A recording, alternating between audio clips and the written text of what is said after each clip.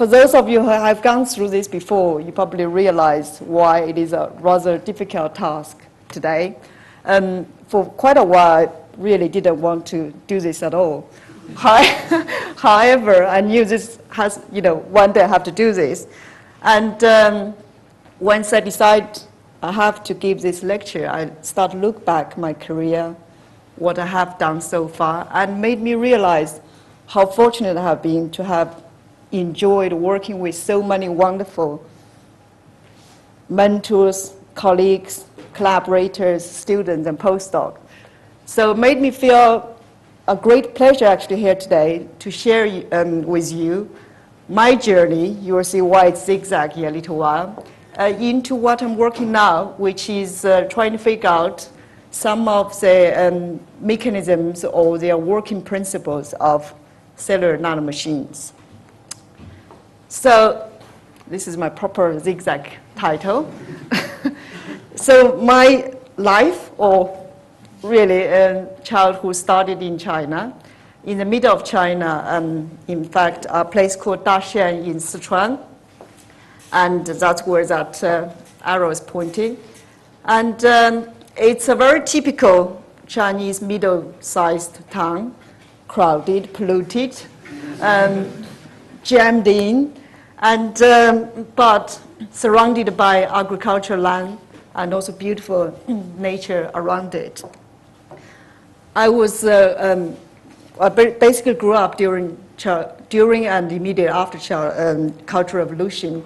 In fact, I was born the year Cultural Revolution started, and so my early childhood in a society which is very isolated, had no material possessions, but we lead a very happy and simple, innocent life, in fact.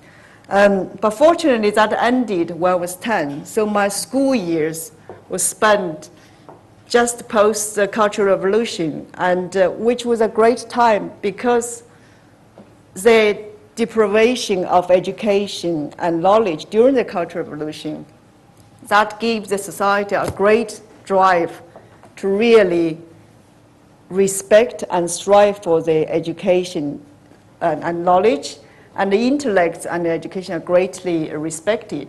So it's that environment I really spent my school years. So everyone was aspired to achieve academic excellency. That was a thing which is most appreciated, unlike the modern days.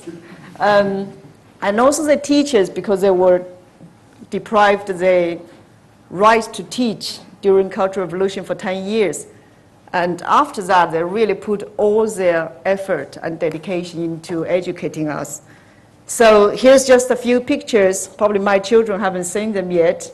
Starting from when I was five and growing up until I was 17 or 18 there. So I did quite well. was one of the probably model students at the school and um, did very well in the so-called uh, nationwide college entrance exam. Consequently, I got a place um, through quite competitive uh, um, examination and got a place in the, one of the top universities in China.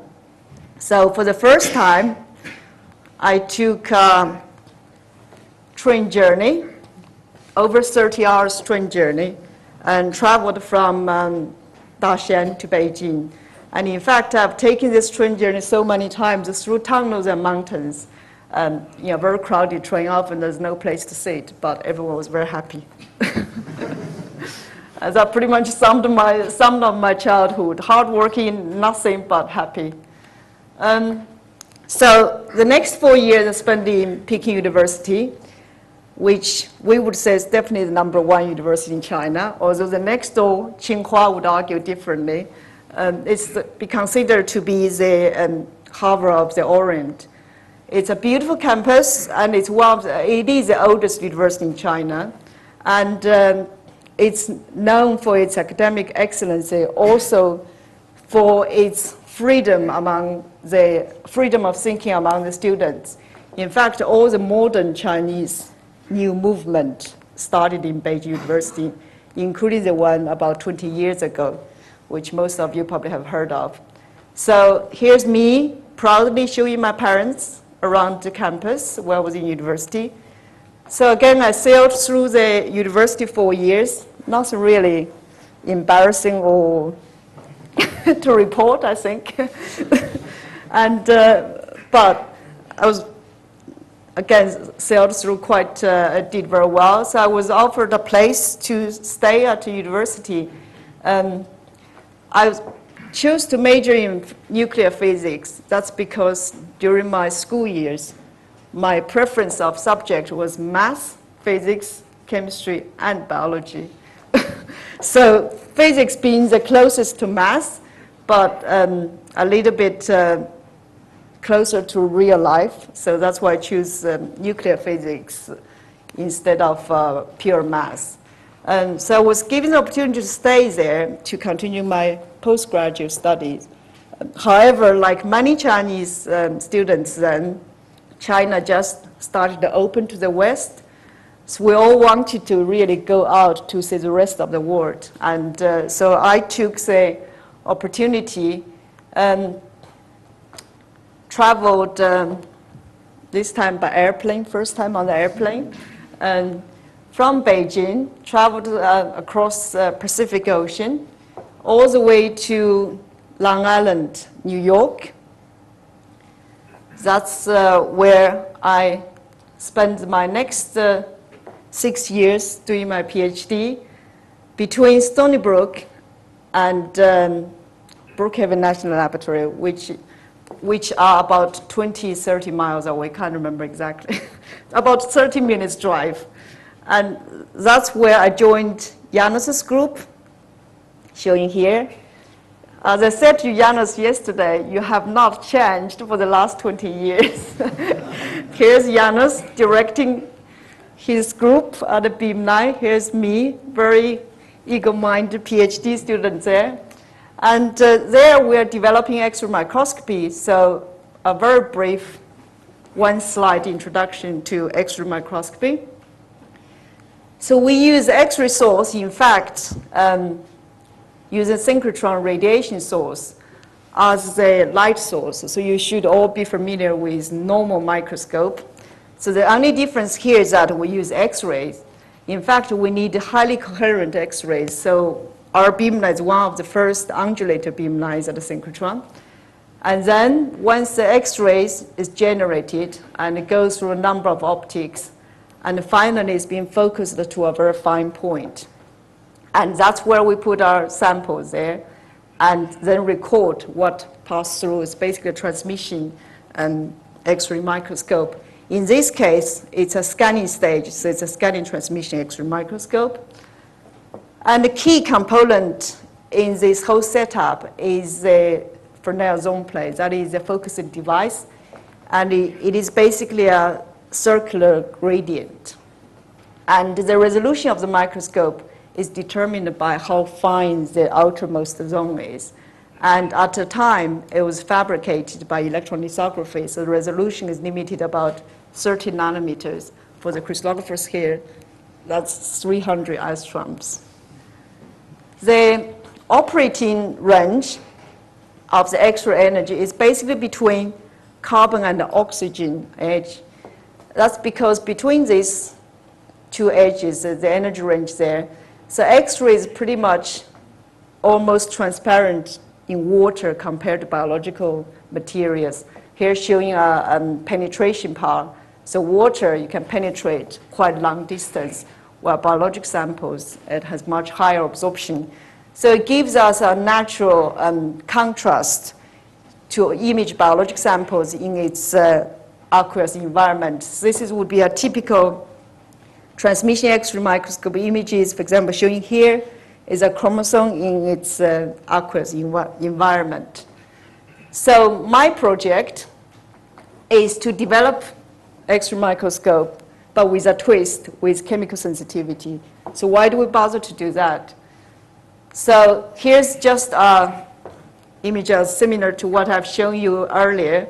In this case, it's a sperm head from bull. And you can see the contrast between the biologic samples, in this case, the sperm head, and water environment. However, we know in the sperm head, for example, it's, it mainly contains DNA and proteins. So wouldn't be wonderful if we can actually separate these two chemical components using the imaging techniques. So that's basically what we're trying to do. And the features we used are the so-called near edge um, fine um, absorption spectrum of the X-rays. So in this case, I've shown one example is a carbon edge. So you can see that the absorption spectrum of the DNA shown here is quite different from the protein structure uh, spectrum. So use these fine features. So we can take multiple images at different wavelengths. Then we can quantitatively deconvolve these two components. For crystallographers here, this is actually quite similar to MAD phasing. So we use the fine details at the absorption edge and use the differences there to get information which is normally lost in the diffraction or in this case, the transmission. So use spectrums like this and many images similar to that.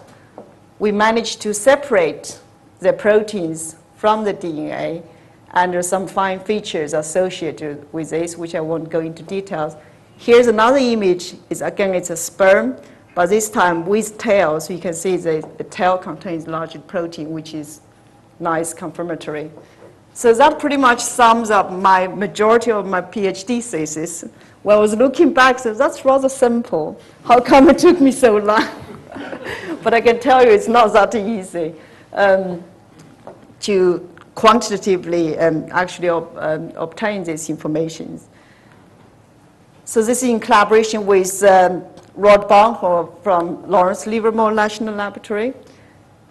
So after my PhD, oh, here just one anecdote. So I finished my PhD. Here's just evidence to support that. that this is at my thesis defense um, my, with my um, thesis committee here. And um, for physicists here, probably recognize this name, and Chen Yang. He's a um, theoretical physicist. In fact, he was one of the only two Chinese uh, Nobel laureates for decades. So he was an absolutely iconic figure in China. In fact, it was one of the reasons, um, one of the many reasons I chose to go to Stony Brook to study physics. So I remember at, at the defense, um, Professor Yang asked me quite a lot of questions and it became more and more theoretical, um, complicated mathematical questions. And eventually I gave up.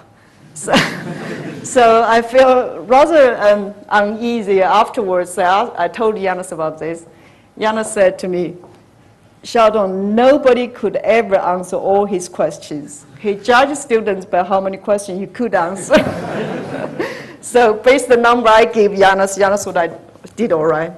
Um, so after that, I was at a um, very fortunate um, place, really. I was looking around to see what other things I might be able to do. I definitely like imaging because for me, seeing is believing. If you want to figure out something, want to know how it works, you need to see what it looks like first. And, uh, but there are many different ways we can look at things. So I was at a fortunate uh, situation that with help from my supervisors, Janos, and other um, mentors around, I was all, um, provided or offered a few um, possible opportunities to continue my research. One of them is that, in fact, to develop X-ray microscopy at the ESRF, which I was very tempted to go there, and all continue work on the uh, sperm biology at Lawrence Livermore. And I also looked at going to electron microscopy at the time at NIH, which come back later, finally got me. And also looked at uh, some very interesting um, imaging techniques, that's visible light, uh, but ultra-fast imaging. And finally, the possibility of looking at something much smaller with much higher resolution, that is X-ray crystallography. Um, so Janos um, being my supervisor, again, it's the same picture. Look just like him now, um, who's been an absolutely fantastic supervisor. I think the best one can hope, really. He's uh, extremely knowledgeable, well respected, but very, very positive, encouraging, and always uh, extremely supportive. And I don't ever remember Janos telling me, Xiaodong, you need to work harder, but everyone in his group always feel we need to work harder in order not to disappoint Janos. So I still haven't quite figured out how he managed to achieve that. And hopefully one day I, I will be able to do that to my students. so at the time, Janos has a great collaborator, um, David Sayre, for the crystallographer here. You probably have heard of Sayre equation. That is indeed the um, David Sayre, this the Sayre here. And David contributed um, to X-ray crystallographer, uh, many people here know. And uh, you, some of you might not know that David and Janos actually collaborated for the last uh, 30 or 40 decades. And this is one of their um, first papers together. In fact, they together um, proposed this uh, carbon oxygen water window could be a potential um, imaging range for biological materials. And uh, they have continued to push um, the frontiers, the X-ray microscopy, in general X-ray imaging, with uh, the later contribution, including the proposal to extend the methodology of X-ray crystallography to non-crystalline specimens. And perhaps the latest development, which is going towards that direction, not quite yet, is uh, this year's publication.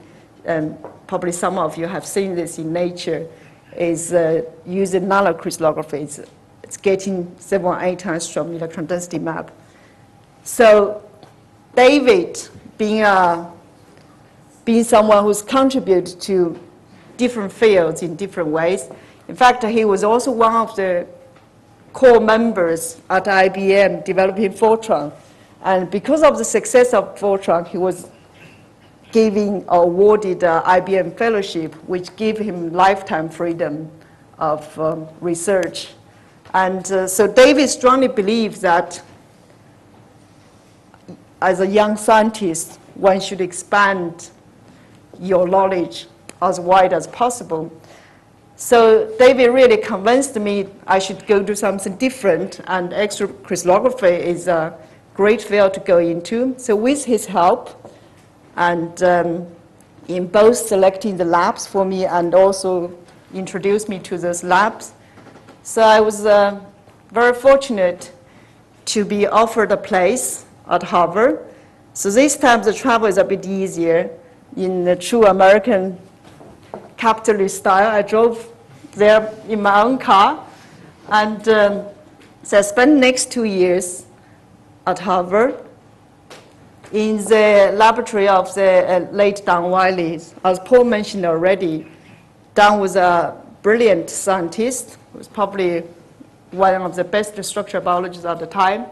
In fact, his sudden death um, in 2001 um, has uh, been a great tragedy in science. He's contributed significantly to both immunology and virology. And Don actually, uh, in my view, was a brilliant um, supervisor as well because of my lack of crystallographer experience when I joined his lab. So he used to assign me homeworks to do, that is reading the methodology papers, theoretic papers about crystallography. And then once a week, he would then discuss those assignment or the findings with me, and we would discuss the methodologies, limitations, and applications. And of course, with his expert knowledge, he also shared great insight with me. So it was a rather easy transition than I thought, and partly because I was trained by the great, uh, by a great crystallographer. So the method of choice then was X-ray crystallography, and um, it relies on us obtaining crystals, which are shown here. Diamond is one crystal, and if you look inside, if you can imagine you can look inside, it has many, many thousands or tens of thousands of molecules lined up in perfect order. So once we have crystals, we then use X-rays, showing here this giant beam, um, which then hit the X-rays, and they will generate something like this. In crystallographer's eyes are beautiful diffraction spots, but probably Sarah and Sophia would disagree, look rather plain um, gray spots. And from that, we can actually obtain so-called phase information, eventually give you this electron density map, and which contains the information about how the molecule might look like. So from there, you can get this beautiful representation of the three-dimensional structure as uh, you two have often seen me display on my computers. So the project I was in, involved in involves flu virus. That is a virus infect us every year, cause flu. And uh, flu virus has an envelope, a membrane.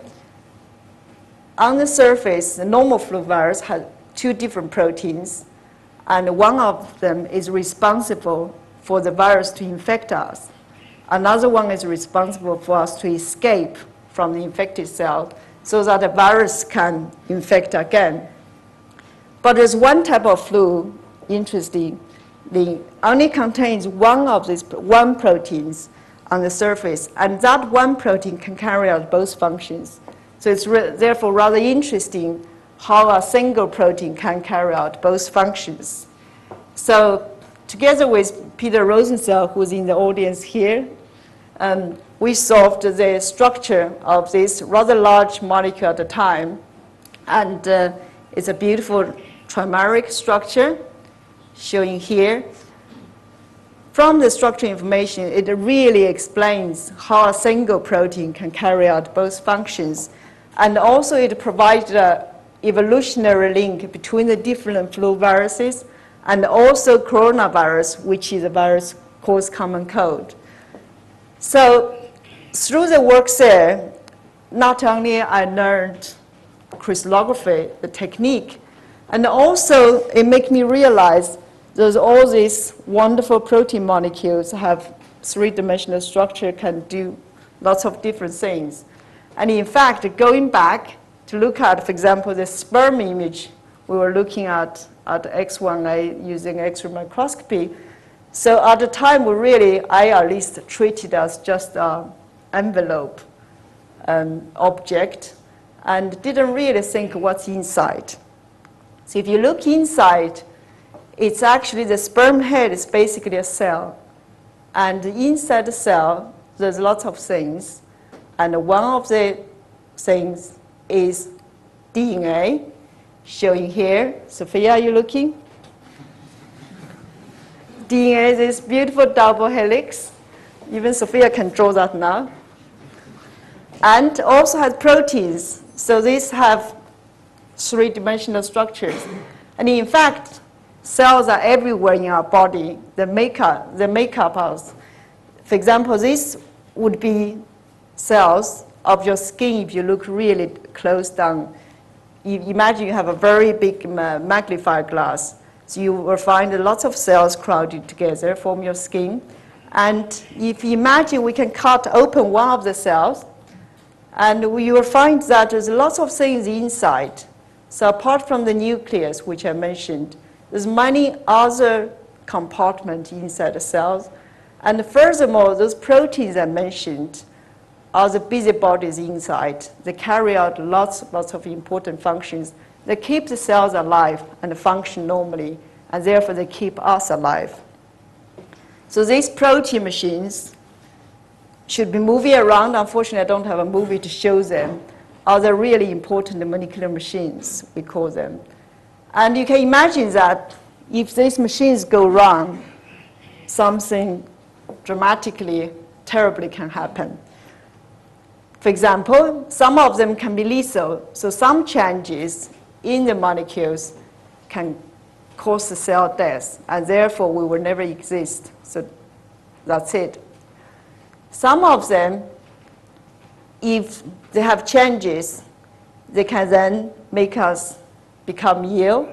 For example, these two proteins with this funny name of BRCA1, BRCA2, and in fact, they are the breast cancer genes. So if we have changes in these proteins, they dramatically increase the risk of breast cancer. And another protein I'm going to introduce later is with a funny name called P97. So if there are changes in there, it causes the so-called Paget disease, which is basically a muscle and a bone deformation.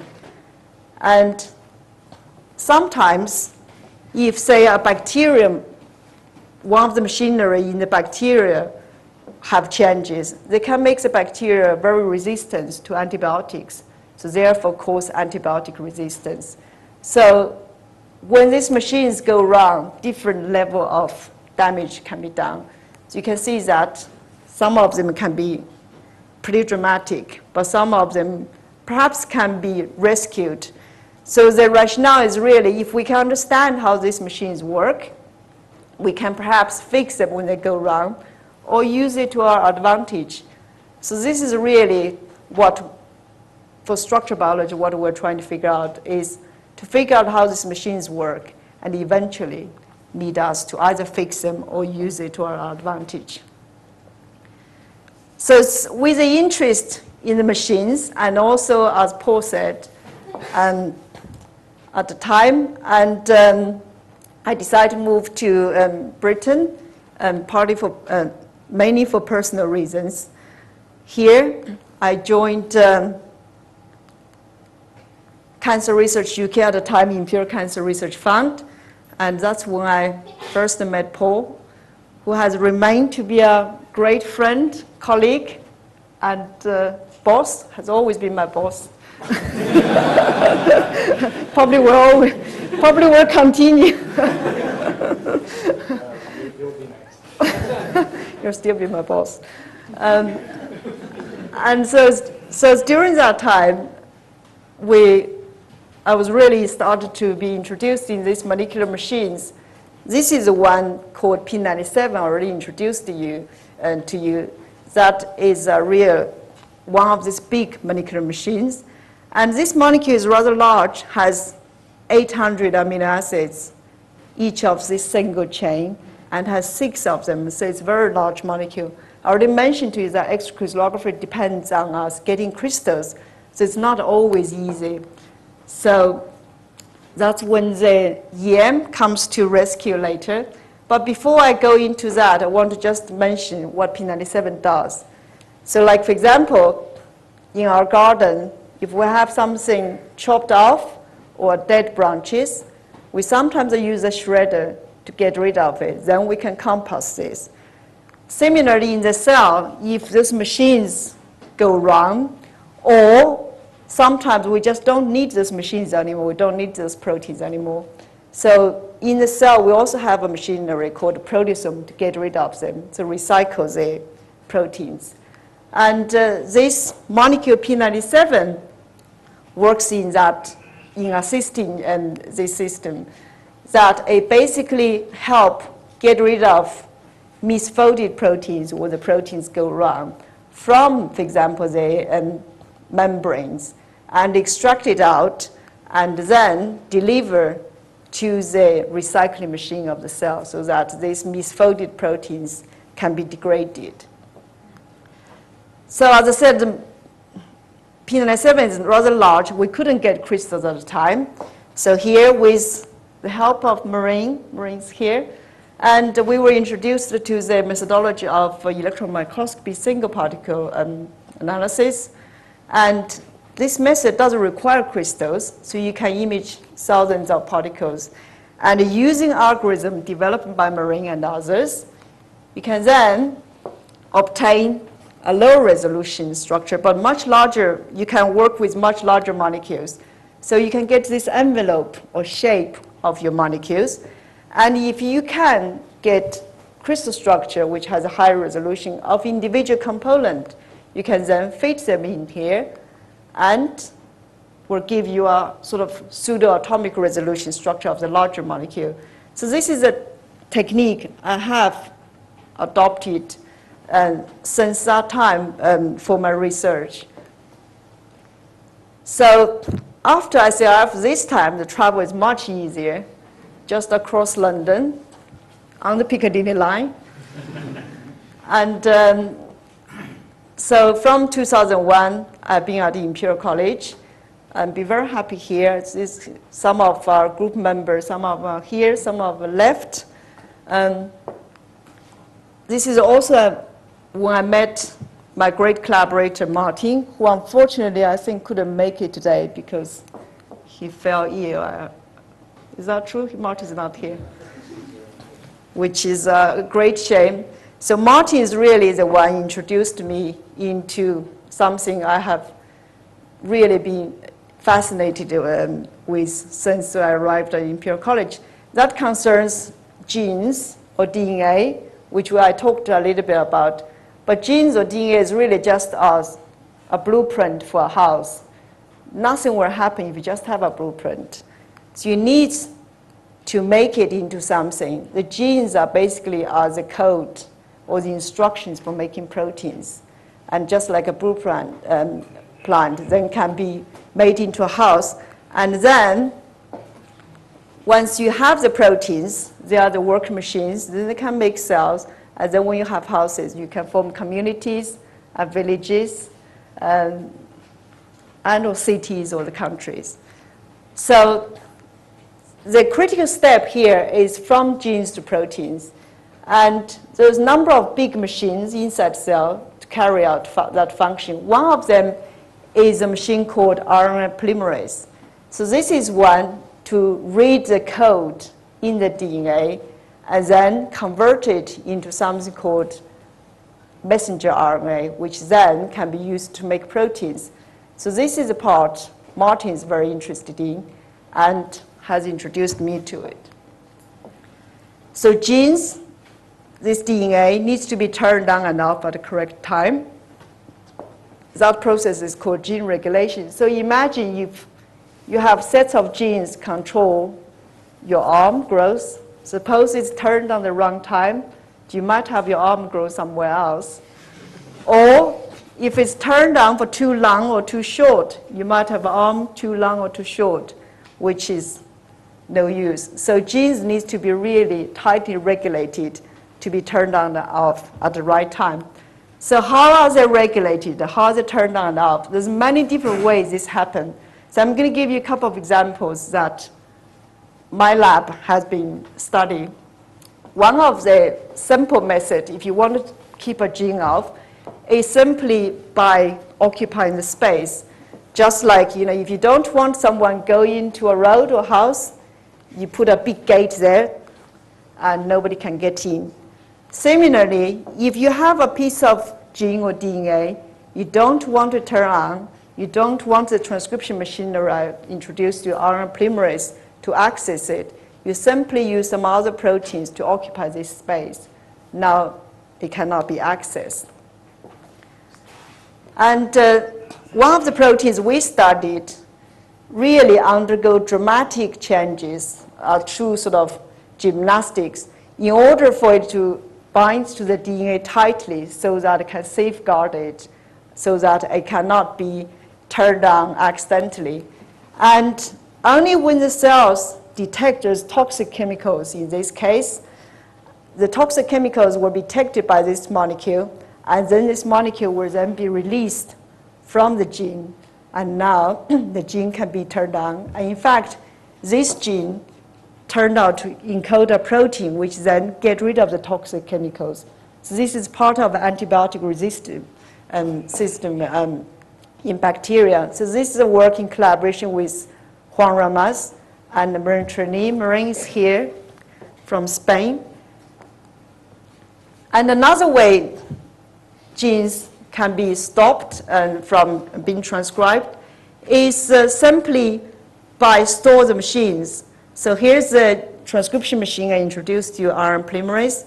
So it can, it can bind to the DNA, but we can store it. Just like for a train, you can be ready to go on the track, but if you have a roadblock in front of it, you cannot leave. So how is this machine being stored then? So this is a work we've done the last few years using largely electron microscopy. So here again, the RNA polymerase, the transcription machineries. And what we find is that in order to transcribe the DNA, one strand of the DNA needs to go into this machine so that the genes can be transcribed. However, the passage for the DNA to go into this machine, in this case, is being blocked by another protein. So it's using another protein as a roadblock in this case, so that the DNA cannot go into the, go into the transcription machinery. Therefore, genes cannot be turned on. So obviously, this is a way to really keep it tightly controlled so it cannot be turned on. However, there are situations where you really need to turn these genes on. How does this happen? So they use specialized machines, and these machines use a fuel inside the cell called ATP. And using the ATP, these machines undergo quite large conformational changes and through the changes, it then induces further changes in the transcription machinery RNA polymerase.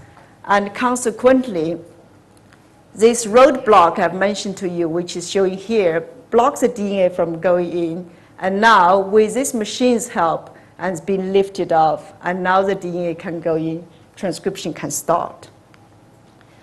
So once the RNA polymerase starts to transcribe the gene. So here's the DNA, here's RNA polymerase. You can see from the picture what could happen is that occasionally the RNA polymerase can fall off the track, can fall off the DNA, and that will have, have dramatic consequences as well because that means you have unfinished gene being transcribed. Therefore, you cannot make proper proteins so cells again have evolved ways to deal with that. They use elongation factors. And our recent work provide explanation how these things help the RNA polymerase, the transcription machinery, to stay on track of DNA during transcription.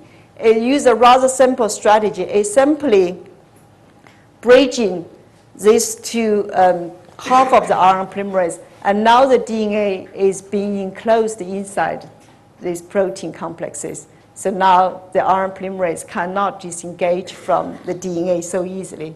So therefore increase the processivity of the DNA. So the transcription side of the work, as I said, Martin Buck really introduced me to it. And we are interested in how they are controlled, how they are turned on, and also how the elongation process happens, and currently, we're also trying to understand how the genes are terminated. So I have some great collaborators on this project, and Ray, who is here, although the work uh, with Ray I didn't talk about, and also Yiping from Peking University is here. Again, the work I didn't have time to talk about. And also with uh, Katsu Murakami from Penn State University. Now, I mentioned the DNA is a really key for making proteins, machine, making machines, but DNA can be damaged. One of the really uh, drastic damage is when the DNA is broken completely. So just like if you have a bridge is broken, if you don't fix it, things can go terribly wrong if you're trying to drive a car or train through it. And same for the DNA, if you don't fix it, this can cause serious problems such as cancer. And fortunately, cells have evolved repair mechanisms and repair machineries so, so that this broken DNA can be patched up. So one of these repair mechanisms, one of the key components, is this protein I introduced to you earlier, this protein called BRCA2, which is a breast cancer gene and is also one of the largest proteins with over 3,000 amino acids long. And this protein does quite a lot of things. This is a rather complicated diagram. I don't expect, Sophia, you to remember or understand this.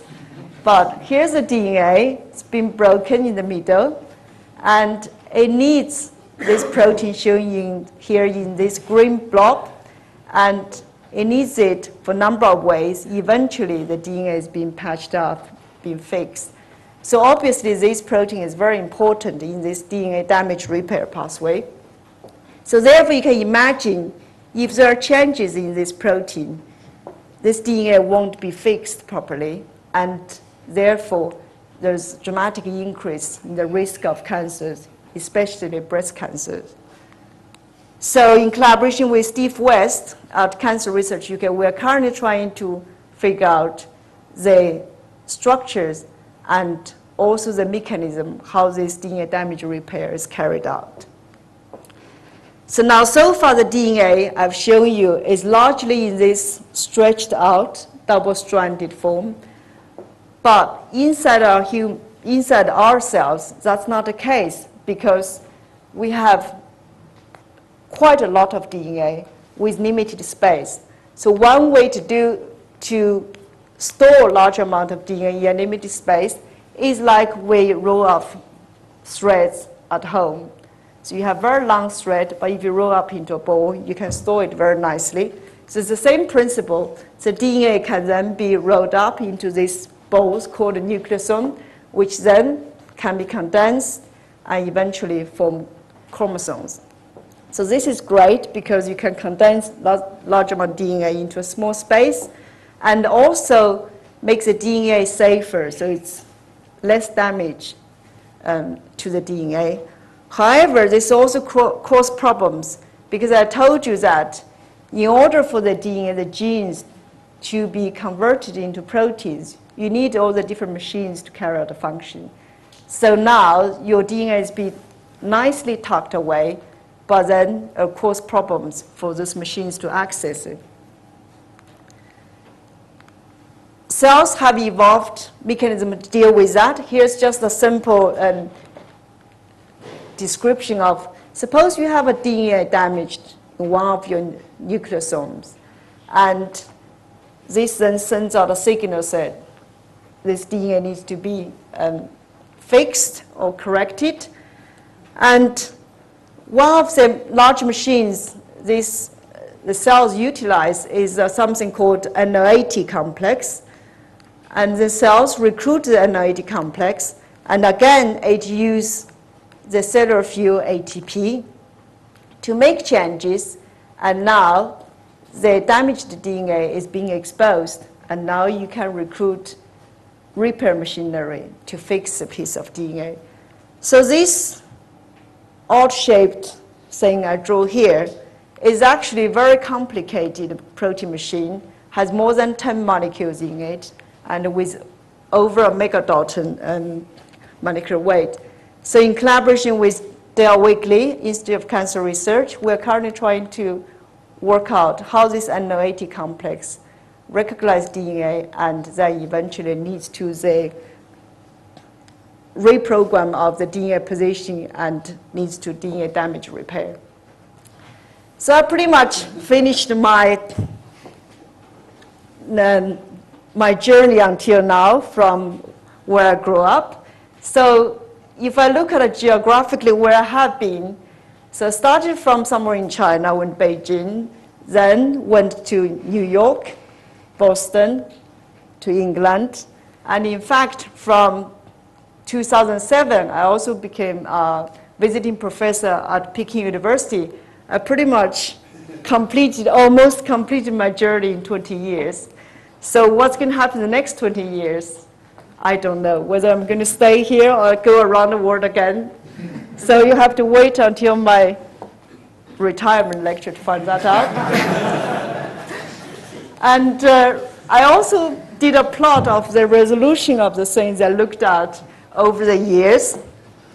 So if you count nuclear physics to be zero angstrom in terms of resolution, and X-ray microscopy is somewhere 300 angstrom there. And since I've been doing X-ray crystallography, electron microscopy, and back and back, back and forth. But I'm slightly comforted that the slight trend of going going downwards. So I'm optimistic that in the next five, ten years, I will get atomic resolution of everything. so we'll see.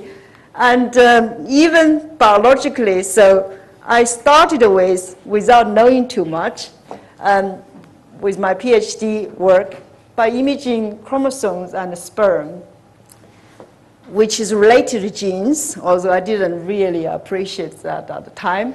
And then I made uh, a jump into crystallography, looking at uh, influenza C virus. And from there, was introduced into molecular machines, such as P97, which is a continuous same with Paul, running with Paul.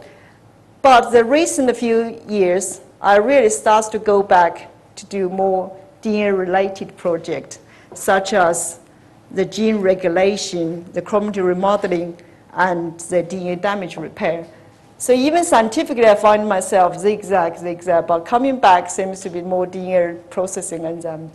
However, I'm interested by only interesting problems in my view, so I won't promise I'm going to stay along the track of the gene um, DNA processing enzymes. So just looking forward, now I've said where I am now, what I would really like to do the next 5, 10, 20 years, how many I have left, is to continue with some of the projects I already mentioned. For example, this chromatin remodeling complex and the DNA damage repair and the P97 project I already mentioned a little bit, and also the gene regulation transcription initiation process. Eventually, I want to convert all the shapes I've shown you here into 3D structures with atomic details and emotion. So it's a very grand scheme. With the RNA polymerase uh, initiation, we actually start, this just give you a flavor what I would like to do eventually with all my project. So this is RNA polymerase. So here's, we have the sh shape already. We have the shape of this specialized machine. We also know how they get together. We also have some idea of how these machines at atomic level it moves and how the, the specialized machines induce changes in the RNA polymerase eventually leads to transcription activation. So the next five, ten years, we want to convert all these either way or somewhere else well into atomic details and eventually, hopefully, similar approach will need to all of my other projects. So I think it's uh, about time to thank people who have contributed to all this work. So here's just uh, some snapshots of the structures we have solved over the years. But as you know, most of the structures I actually didn't solve. So it's all the people who worked with me, or number of them you can see the familiar faces in the audience and I apologize for people whose pictures not here. Probably either don't have your pictures or your project have not finished yet. and um, as I said, during my preparation, I just realized how many wonderful people I have worked with, have supported me, have inspired me. So here's just some of the names. Again, very quickly, if you can scan your names through. Um, I hope I have covered everyone I have collaborated with uh, in, the, in the past or current. And finally, I'd like to thank my extended family in China. We have a very big family, 30, 40 people often gather together in the weekend. And they have been a continuous support throughout my life. And every one of them has been extremely helpful to me and to my two girls. And they are very kind, hard-working, aspirational people whose uh, continuous love and support really made me who I am. And also thank Chris for his support and for being a great father of the two girls here. And for Dell for his support and help and also critique of all my work. although he rather goes fishing than doing all, any of those. and to my two um, beautiful daughters, who gave me lots of grave frustration and stress How can that be? but most of all, love, um, fulfillment, and joy. Thank you, girls. And I haven't finished yet. and to my parents, who uh, unfortunately could not be here today, but really without them, it's not possible. Good or bad, I'm where I'm, they made me. Lastly, thank you all for being here with me. Thank you.